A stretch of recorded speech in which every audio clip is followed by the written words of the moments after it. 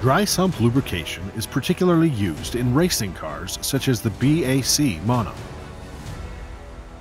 It has additional components to the wet sump lubrication system. These components include an oil tank with a breather tank. Furthermore, the dry sump lubrication has a cyclone separator and a multi stage pump. Often there is an oil cooler, which is not shown here for simplicity's sake. The oil is stored in the oil tank. The oil tank is filled from above by a scavenge pump. The line to the breather tank is located at the top of the oil tank.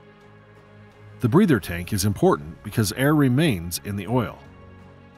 This air must be able to escape. Baffles ensure that the oil remains in the bottom of the oil tank during extreme cornering. This guarantees that there is always enough oil in the bottom of the tank that can be pumped to the engine. If air is drawn in, the lubricating films in the engine could not be maintained, resulting in excessive wear and tear. The oil tank is connected to the pressure stage of the pump. The oil is pumped by the pressure stage to the oil filter. That helps remove contaminants from the oil.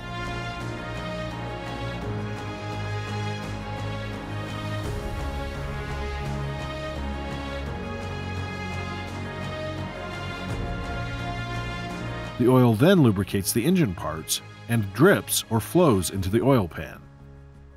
The scavenge stage of the pump then sucks the oil out of the oil pan. It is important that the scavenge stage of the pump has a higher output than the pressure stage of the pump. This ensures that the oil tank has always enough oil in it.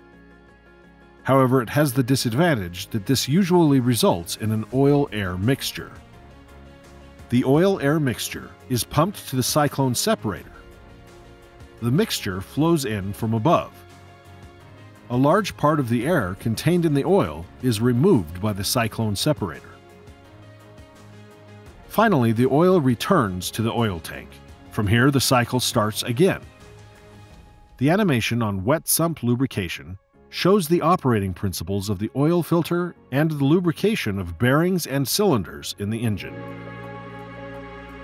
うん。